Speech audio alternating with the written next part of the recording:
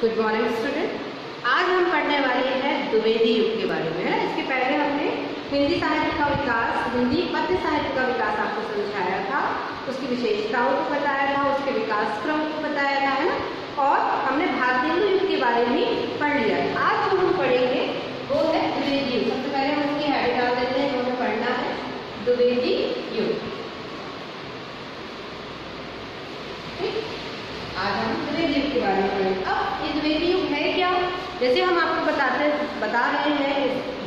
पढ़ रहे हैं विकास क्रम तो हमने आपको बताया किस तरह से जो हिंदी कविताएँ, जो बनी जब से भी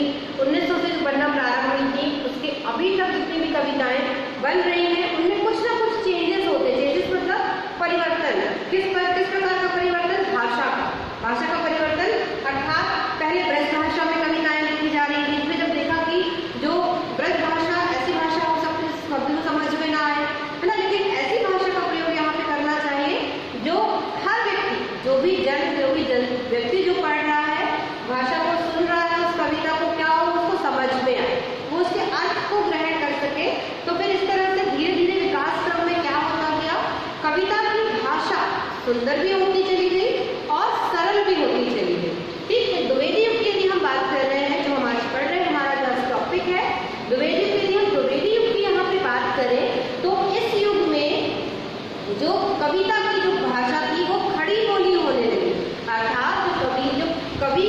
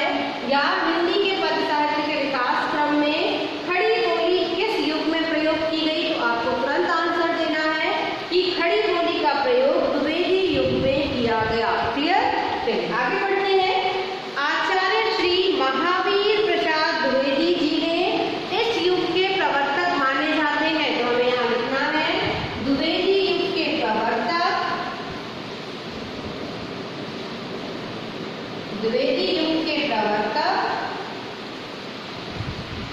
कौन है?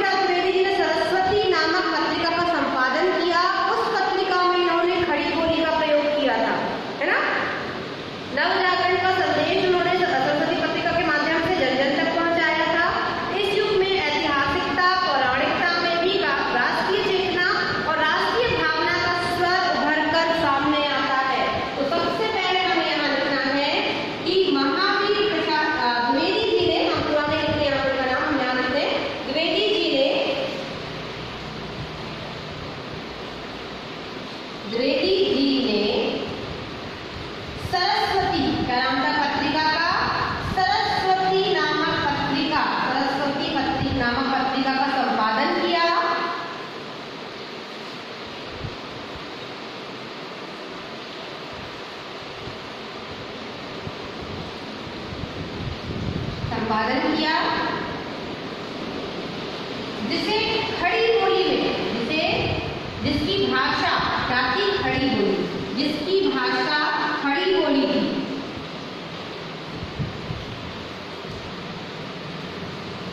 जिसकी भाषा खड़ी बोली थी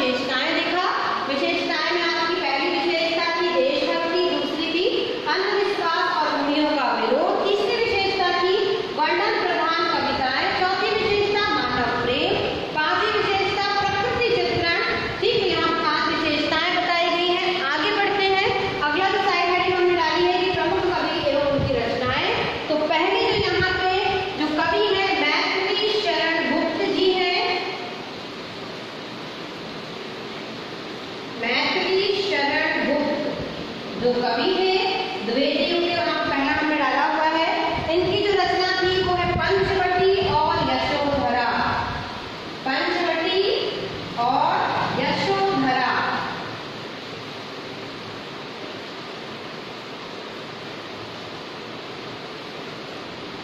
ठीक तो यहाँ पे